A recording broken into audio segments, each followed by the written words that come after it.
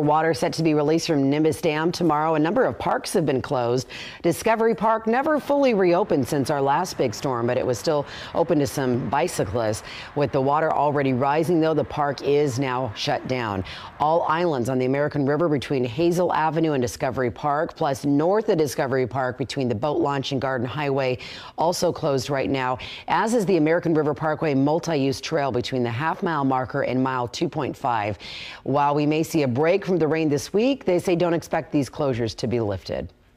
Our issues with the with the park's flooding doesn't really deal with the rain. It deals with the outflow from Folsom Dam. So those numbers are still going to be there. Once a park is closed, that means pedestrians and vehicles are not allowed, and those who don't listen to the warnings could be arrested.